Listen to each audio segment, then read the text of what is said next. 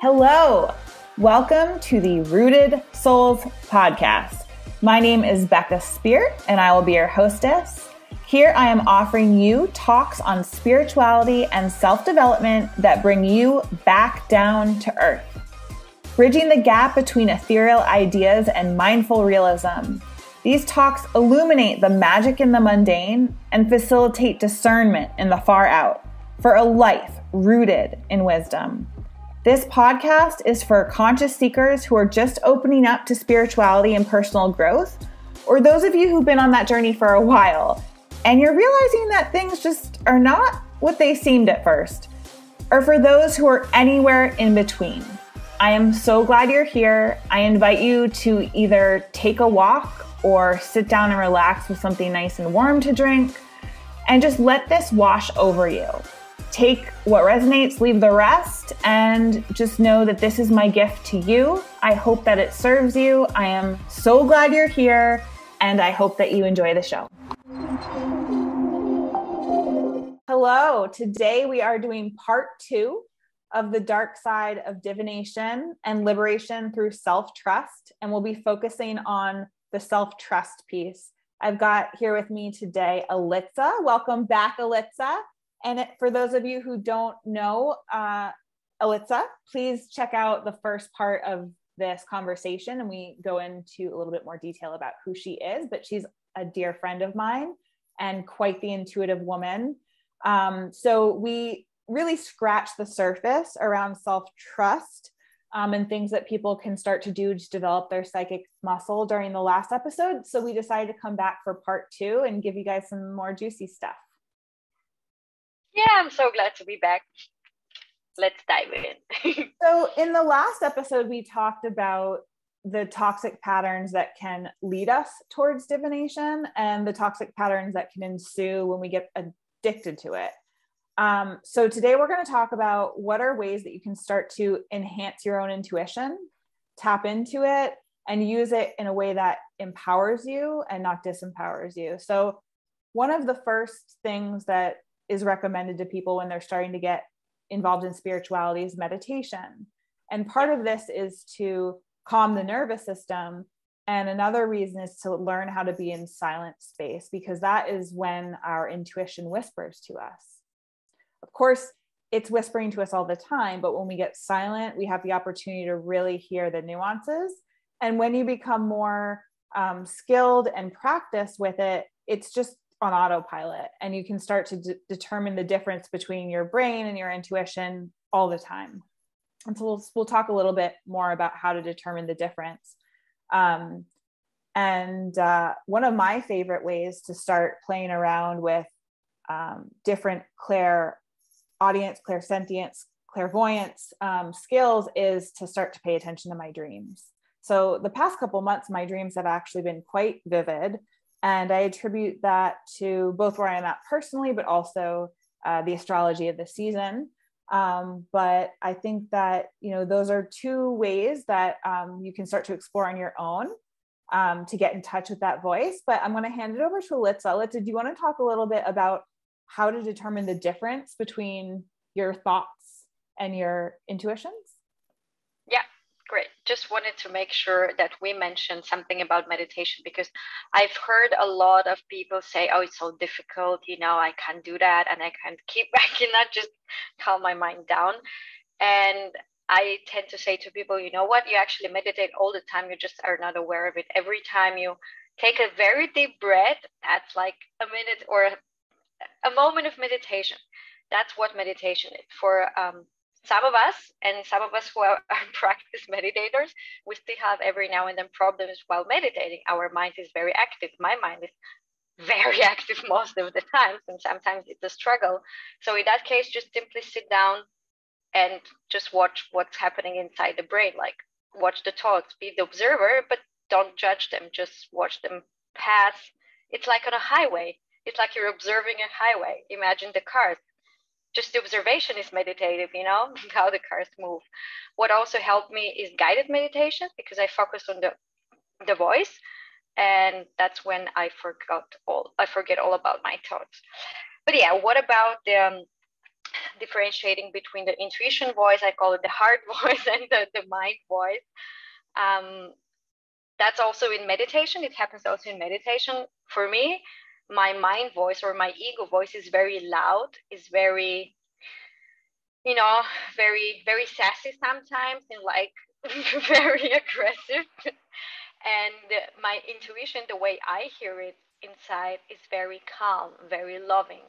And sometimes I do have problems connecting with my intuition. And what I've established that helps me is like to put a heart, uh, to put a hand on my heart to take a deep breath and then listen. And when I do that, um, or talk to my heart while handing by putting my hand there, it just helps me to center, to go back to my heart, and then that calm, lovely, gentle voice appears and resurfaces. So that's how I differentiate between the two voices. I think when we feel good, when yeah, when we are in positive like vibe or state after we've heard our voice, the one we listen to, that's definitely intuition. And if we feel bad, if we feel some judgment, if we feel a little bit icky, that's definitely the mind or the ego. Yeah, that's great. I, I'm glad you brought up the um, challenge with meditation. Um, if people have an activated nervous system or they're in dysregulation, it can be hard to focus at all or sit still. So even a guided meditation could be quite agitating. So if that is the case, um, and you're not actively working with your nervous system with a somatic experiencing practitioner or trauma therapist, uh, you could just try while walking or try while dancing. Using movement can really help um, get the body into a more calm state so then you can um, sit with your mind as well. So um, yeah the goal of meditation isn't to shut off our thoughts although some people uh, you know that is their goal. Um, it's just about the breath and being present and calming the system down. Um, what you shared about the difference between the heart voice and the mind voice i love that phrase. Um, even if it's not good news it will feel like an expansion or a calm presence. And I can think back to one time in particular when I got some bad news, but it was finally the truth from somebody. And I just got really calm, even though it was not what I wanted to hear. So that time is when I anchored into myself what that felt like, the difference. And so with trial and error, you can start to get used to and take log of your heart voice or your intuition and your ego voice. So, one of um, the tips I suggest is to journal or keep lists or notes on your phone. And you can start to track back even before you even get started with present day. What are times that you can remember that you had a premonition or had a feeling and it ended up proving to be true? Start taking notes. Remember what it felt like in that moment when you felt that way ahead of time. And now moving forward through, you know, just messing around, say, I, I want to, you know, see if um, it's true that I feel like this friend might call me today. Write it down. Keep track of instances where you just have this, you know, this fleeting thought and write it down because oftentimes those intuitions are those quick fleeting thoughts. They're like whispers passing through because it's just like a, a nudge um, from your your inner voice. So um, through getting used to your flavor and what it just feels like for you, and getting used to the nuances of the different sensations and different um, styles of information that come through, you can start to get familiar with what your different versions of information sound and feel like to you. Definitely. I just wanted to mention that moving the body is definitely a big thing dancing and um, i'm about to discover the, the power of belly dancing especially for us women how to move into the body to drop into the body. And what i've noticed sometimes also while meditating but also while dancing is just to let go of the control and let the body move on its own. I think that's also one of the best practices to just just be present in your body and connect with your body and with your intuition. You know sometimes the body just moves and you follow it you just observe it and it's an it's amazing experience i love that uh, one of my somatic mentors said to me we're animals first and body first. So if, if you're agitated or upset or in anxiety, what does the body need to calm down? Because the mind follows the body. So I love the practice of letting the body move. And at first, this might feel funny to you. You might question, well, how do I know what it wants to do? And it's just, again, play, trial and error. What are you inspired to do? I think people sometimes think that an inner voice or an intuition is going to be an auditory input, like they're going to hear a voice out loud. It's very rare that somebody has that gift. So it's basically your own voice. It's just subtle. Um, or, you know, that those ego thoughts can be loud and repetitive and compulsive and incessant. That's not your intuition. So just to repeat, the intuition is going to feel like a whisper. It's going to feel fleeting. It's the ego mind that's really aggressive. Um, so using divination is another way to start to practice. So I really do encourage you to do these other things first because you're really going to want to get to a meditative state before using divination. Especially if you're new at it, it could be really your ego talking to you and really our our intent and our desire for certain messages is strong. So you could get answers from divination that are validating what you actually want, not what's actually best for you or true for you. Um, but oracle cards are super simple and easy. You don't have to study them like the tarot. You can get um, a deck and it comes with a guidebook and you can look it up. Although I always encourage people to sit with it first before looking it up and see what comes to you. And then it might be fun to compare and see does the author of this deck have similar insights into this imagery. That's true. I have an on and off relationship with my oracle deck. Um, right now, I'm in an, in the off part, but that definitely has helped me. Not in the way I always, when I use them, I ask the question, "What is the message that I need to hear today?" Not to ask about when I will get married, will I have kids, how many kids, when I'm going to meet the love of my life, and all this kind of stuff um, just asking about messages, what I need to know today, what I need to focus on today. And most of the time it's just spot on. I, to, to this day, I'm still surprised how spot on the cards could be.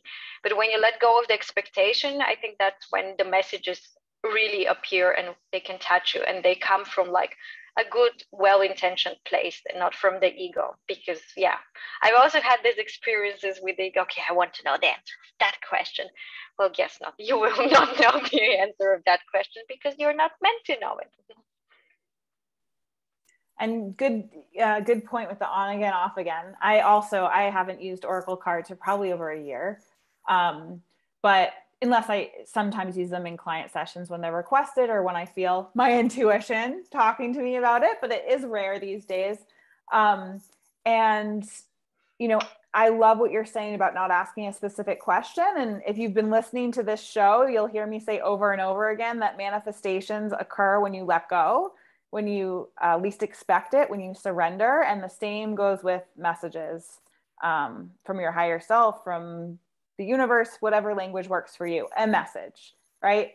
Um, and so if you can get to a place where you are just curious and not needing to know, like it's going to fix something or fill a void or soothe anxiety, that's the route to take. If you are anxious, if you are freaking out, if you need to know, my advice to you is don't use divination.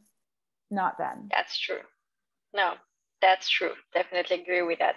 I also think that art, um, being creative, is very important or a good way.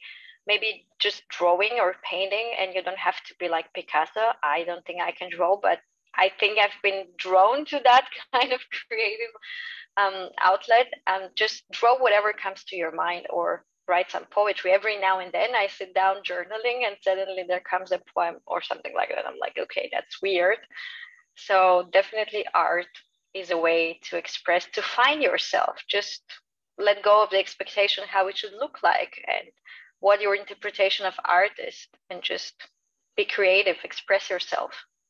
Or singing. That's my thing because I think my throat chakra is very active, and I've been told that I, I have two heads or I think too much, and that's why I need to talk a lot. And singing is also my um, outlet, the way to express myself and to relax myself. So, singing is also a great way to connect with your intuition and to like escape the mind, escape the ego because you're so out of your comfort zone today. Like I did a super crazy exercise, you know, like putting my tongue outside and trying to sing while your tongue is outside. Do that. So it's completely out of your comfort zone. You feel silly and that's the point. You're you're that completely you know, like in a childlike state where it's like, okay, let's do it, let's try it out, let's see what happens. And that's also amazing part to, to experience new things, to see how you react, to be curious about how you react and not to judge yourself how you're supposed to react to something or not. Loving it. So if you if you don't know how to get started with creativity, I actually have a show on creativity. Check the podcast a couple episodes back with Laura Smith. The reason that creativity and art and singing and dancing are so good for developing our intuition is because they get you relaxed. They get you into that childlike state, like you said. And if you think about how kids sometimes blurt things out or they point things out that you thought you were hiding from them, it's because they're still in that innocence and childlike state. So doing those activities can get us back there. And it really is in that surrender state and you're relaxed. So that is when there isn't all this judgment or analysis and so um, i love i love just imagining with your tongue out singing because it's it's challenging yourself to be in new environments using your brain in a different way being in touch with yourself in a different way. And so when we're out of our typical habits and patterns it gives ourselves the ability to be receptive to something new.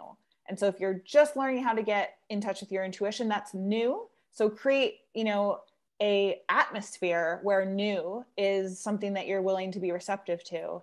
And i promise you it's going to sneak in. Oh yeah. Oh yeah. Uh, another very very important i think for both of us way to get in touch with yourself is to turn off the laptop the tv the, the smartphone and just be do something else. It might be just reading a book like a standard book with pages or go for a walk or do something talk to somebody. Um, there is a great example for me. Um, um, millionaire coach women's coach that i follow it's a german one. And i think a couple of months ago she signed off social media and she deleted all of her social media accounts. The only outlet she has the only channel she uses is email. And I've been listening to her recently, and she was telling how much calmer she feels by deleting social media, by not being present on social media, and how much more channeling she gets or how much more messages she gets just because she's present with herself.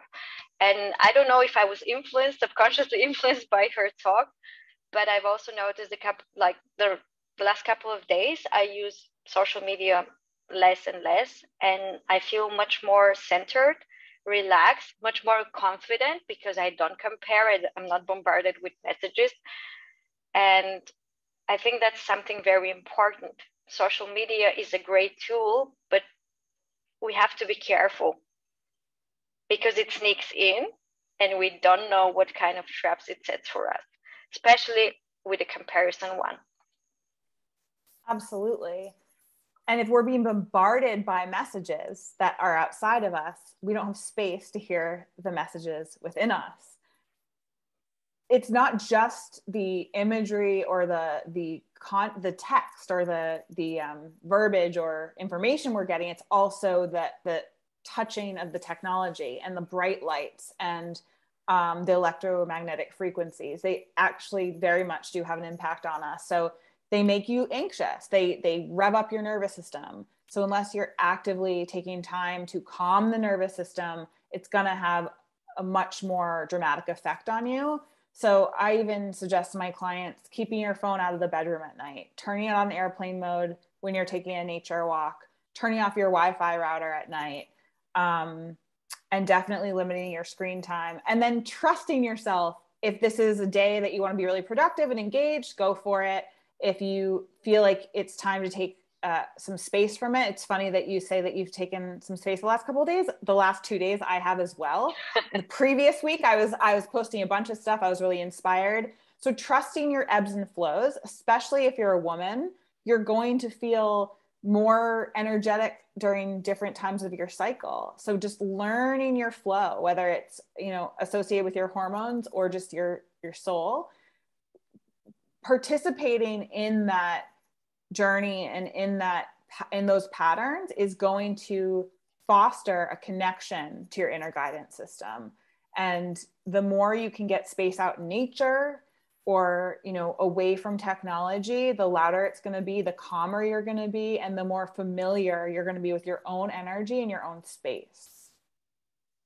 Definitely. Something else that just came came up i think a way, maybe an unusual way to connect with yourself, with your body, is to start eating cleaner or to start eating more fresh fruit, more fresh fruits and vegetables in general. Because I've been doing it myself and I, I notice the clarity. It's just clarity. I cannot describe it in any other way. I feel the reaction of my body towards foods. I've also stopped drinking alcohol for, I don't know, for maybe three months I haven't, yeah, I didn't drink a lot before, but I decided to, you know, have a pause. And the clarity that also comes from this is amazing. You're just cleaner, clearer, and lighter. And the connection you develop with yourself while doing this, while taking care of your body, while moving the body and giving it clean food and fresh fruit, it's amazing. It's an unusual way, but it works and you get more self-confident about it because you do something good for your body and your body is grateful to you I would challenge that it's unusual. I think it makes total sense because if we're a radio, we're picking up messages, we're going to want to be, um, what do you call it? Repaired. We're going to be in good repair. Yeah. And so if this is our body and it does well with fruits and vegetables, and everybody's different. So some people do, you know, poorly with dairy and, and meat. Some do better with, with higher proteins, higher fat. So everyone's different, but this is also an invitation to start tuning into your body and what your body wants. But keeping pesticides out, keeping synthetic fragrances out, um, making sure that you're getting movement. And because our bodies are built to move, making sure that you're drinking filtered, highly filtered water, not just a Brita, but making sure that pesticides are out of it, heavy metals, um, hormones because those are in our waterways fluoride um, chlorine. There's so much stuff that can really impact our immune system impact um, how we feel in our body. And so i gosh i think it's been eight years since i like had probably got drunk. It's been three years since i've had a sip of alcohol maybe four years. And um, people ask me all the time oh you know were you in the program or are you an alcoholic not at all. I just, I had done a sugar detox at one point and I, like you, maybe had like a glass of wine every few weeks. Like I, it was very minimal, but even reducing it to zero um, from one or two a month had a huge impact on my intuition. And it is poison. So taking out any poisons in your system is going to make your vessel more sensitive. And the challenge with that is once you're clean, you're much more aware of when you've been exposed to something that's disruptive for you. Like I can't be near laundry detergents that are fragrance. Um, it just drives me nuts.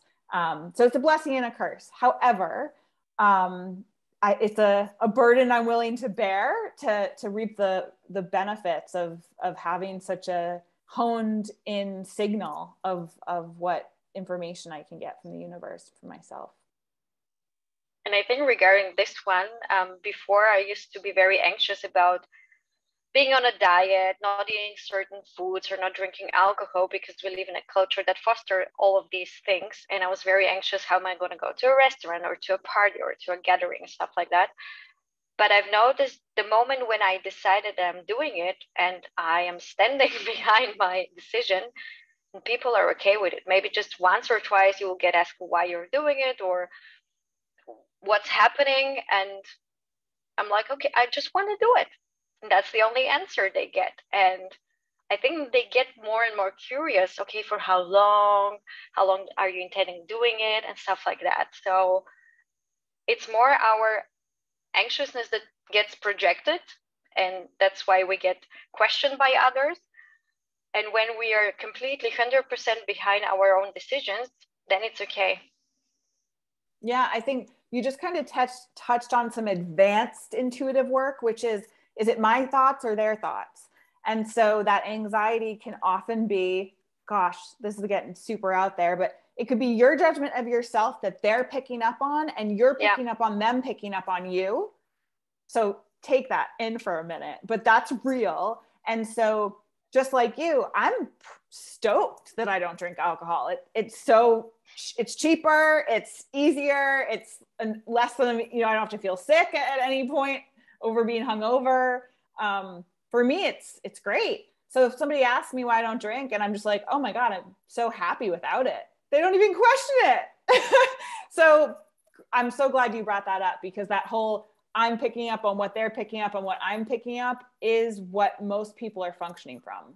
So, social anxiety or fear of public speaking or body image shame, it really is our insecurities that have been projected on us from society that we're projecting onto the other person that's picking up on our projection and then we're, we're uncomfortable with their judgment.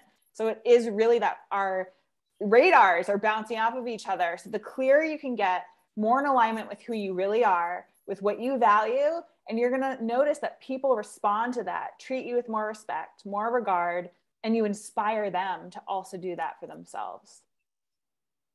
I am listening an audiobook. I forgot the name of the author. Uh, we can share that later on. It's about eight steps of manifestation i think and she has she suggested an exercise called energetic check-in and i love that because three times per day you check how you feel. You check if this comes from the past or is it like an anxiety for something in the future?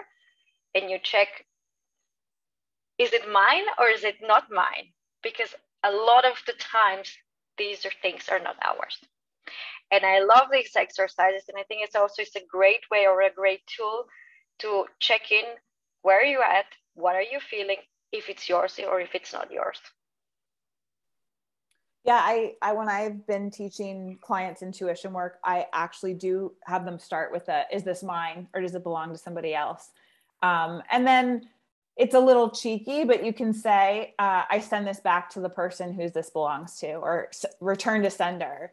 Um, and you know, with all these things, intentions everything. So um, you know we don't always have to use the words. It can just be the imagery or the just the the acceptance and knowledge of it. But as soon as we do acknowledge it it starts to dissipate. And um, i love the energy check-ins throughout the day starting to get familiar with how do i feel in this circumstance? How do i feel when i'm doing this activity? How do i feel when i'm sitting still? How do i feel when i eat uh, all organic? How do i feel when i eat fast food and starting to notice how different your mind and your body respond to these different places. And, um, you know, I really think it is beneficial to write it down at the beginning because it's so easy for us to ignore or forget or uh, brush aside because it's, you know, something we don't want to acknowledge. Um, but I think that you'll start to see that you really have a very clear intuition when you give yourself the space to tap into it. Definitely. I think writing is it's just amazing you know the morning pages the famous morning pages automatic writing just writing things down. It, it's amazing. And after you read what you wrote you're like wow did that come from me? And sometimes it's just the brain like a really brain dump. And then you wonder wow what things i have in my head? And i'm thinking about all of this crazy stuff. And sometimes it's just intuition. Very often it happens to me that i have like conversation. I'm writing as if two people are talking to each other. That happens a lot to me. I don't question it, I just go with it because it's also a very loving conversation or a very loving relationship. There is no aggression, there is no hate or no judgment. It's just as it is. Maybe it's me talking to me. That's a philosophical question, and I'll leave it at that this is a great segue because I think the last thing I want to share is if this is interesting to you, grab a friend who also is into this and have just conversations, spend more time with them. Um, see, you know, what their intuition is on something that you're working through or share anything that you get. I find that when I'm working with clients using divination, especially if I'm reading their astrological birth chart, I will just be going off on tangents and they'll say, You just took those words right out of my mouth. And I did. You know, I often use phrases I've never heard before. And that's what the case that that is. Uh, when that happens, it's because it was something they were thinking. So just practice in these spaces with people who are open to it and you'll find that you can start to trust yourself more because you're going to see the repetition of these patterns where you pulled words out of somebody's mind or uh, you you know said that this was on your mind and your friend says oh my god yeah i was just doing that and so just beginning to or continuing to track um, for lack of a better word your wins with your intuition um, what you focus on is what shows up more in your reality. So if you start focusing in all the places that you're intuitive, you're going to notice it's just starts flowing a lot more. That's a great advice. I mean, we can talk about it forever, but I think that's a great set of tools and techniques to start playing with your intuition. And maybe just as a final um, reminder, see it as a game, see it as a fun challenge, or not as again something to do that feels quite and heavy. Just have fun with it, play with it. Just like we put together this show, right? We didn't script it. We just sat together, trusted that we would vibe off of each other and say what needed to be said. And it was fun. Exactly. It was so, so much fun. thank you for joining me again. It's always such a pleasure to see you and share space with you. And I love you. Thank you for having me. I love you too. See you soon. Bye. Bye. Okay, thank you for listening and becoming part of this community. If you loved this episode, I invite you to subscribe, share with someone you think would appreciate it, or leave a review. This helps me to learn what resonates with you so I can deliver more of what you want and reach more people who can benefit from this content. If you want to reach me, please feel free to reach out on my website, www.beccaspeert.com. I would love to hear from you get any feedback, and know what's on your mind. Until next time, take great care.